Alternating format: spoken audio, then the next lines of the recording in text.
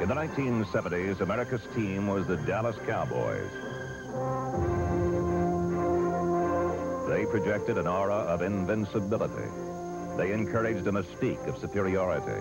And they did it with style. This was a team of sparkle and flash, concerned with image and appearance as well as performance. Yet they were also coldly clinical, as embodied in the familiar persona of head coach Tom Landry. It was only fitting that the Cowboys' final regular season game of the decade matched them against their arch rivals, the Washington Redskins. Grit versus glitter for the NFC East Championship. That game in 79 was for the division championship, and there was an awful lot at stake. And we really felt like we were a football team that that could be beginning to become something very special. Not only was this game for the NFC East uh, Championship, but also was the home field advantage into the playoffs. And history will show that invariably the team with the home field advantage ends up in the Super Bowl.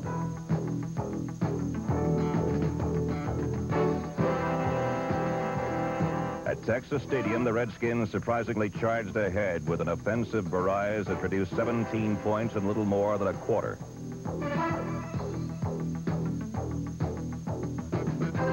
It was swift and stunning, yet somehow it did not inspire confidence, only doubt.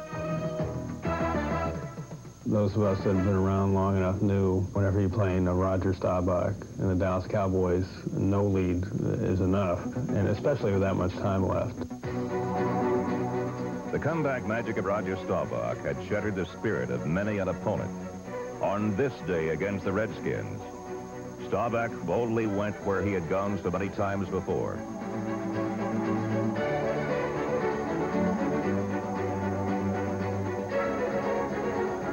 Three unanswered touchdowns pulled Dallas into the lead midway through the third quarter. You know, it was funny. It was almost like it was expected.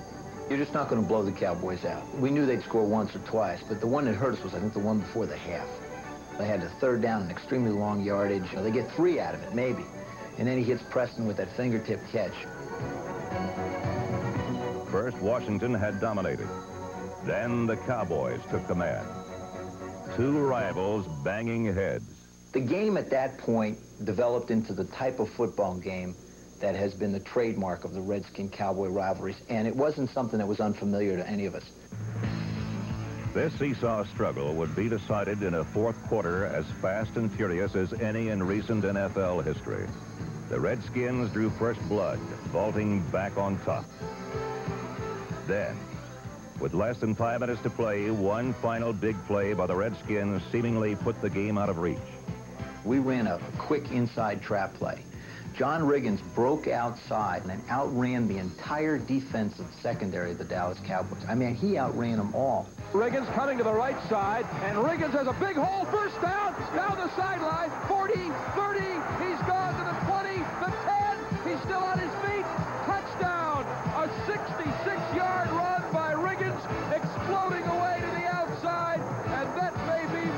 Cowboys can overcome. I remember very specifically a lot of players in our teams congratulating each other, talking about the Super Bowl, talking as though we had the game wrapped up. And that probably was an indication that uh, we felt as though the, the, game was over and that uh, I think from that point on we may have let up a little. 13-point lead, it's just scary. It just scares the living daylights, Eddie, because you know they can do it with two touchdowns. Those numbers loom in football like giant rain clouds over a parade and Theismann knew all too well the power of Roger Staubach to snatch victory. I think his ability to to pull a team out in, in the final stages of a football game is, is really unique in our business. From that standpoint, uh, he was something special. Staubach's time-tested specialty was bringing the Cowboys from behind to the fourth quarter. 22 times in his remarkable career, he had overcome defeat in the final minutes. This would be his biggest hurdle, his greatest challenge. Clock is running, 2.38 left in the game. Can it happen again? Can they come back again? Shotgun formation, Staubach looking into the face of a four-man rush, throwing, cut, spring, go.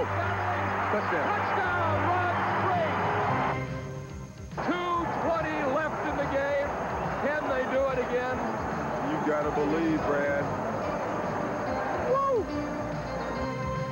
Just move the ball so fast, and it was it was so frustrating. Any move we tried to make, Staubach would counter, Landry would counter, and they'd meet it, and they'd come up with something else, and it was it was just an extremely frustrating day to be playing defense. I wanted the clock to move so much faster than it was, but uh, you know they they did everything perfectly in that last half. Yet Dallas needed another touchdown to win. Less than two minutes remained, and the Redskins had the ball. Clearly, Washington still had the upper hand. The Redskins had a third and one. They gave the ball to Riggins on, a, on an outside play to make the first down. The game's over with. And Larry Cole, who wasn't the fastest guy on our football team, was playing inside, and he was able to catch him going around the end, which wasn't very easy because Riggins, he was a younger in those days, and he was fast. And the fact he caught him and gave us a chance to get the ball back was the thing that won the ball game for us. It was a great, great play on his part. Staubach would get that final chance to work his mastery. When he got the ball back that last time, I said to myself, please, if you're up there listening, you know, pay attention to me because we're gonna, it's gonna take more than a miracle. He was hot. Yeah, I mean, the man was just hot. Everything he threw up, everybody was catching. His leadership brought them back time and time again. It was his last year as a player, but he was running around like a young kid. It was probably one of his finest performances. A minute one left in the game. This is an all-timer. Cowboys at the Redskin 33. Second down 10. Trailing by six points. From the shotgun. Staubach has time. Throws. Caught. You gotta love them. I mean, you gotta love the Cowboys. They're the most exciting team in the NFL. They can pull it out. 42 seconds left in the game. Redskins lead by six. How do you how do you live like this? How can you live like this doing this every Oh, week? this is what it's all about. This is a killer. Second down and eight. From the eight-yard line. No shotgun this time. Staubach throwing in the end zone. Tony Hill! Touchdown! Tony Hill! The Cowboys have won the East. The Cowboys have come from behind twice. Unbelievably. Just another day at the office, Brad. Yeah, just, you know. We had a blitz called in that situation.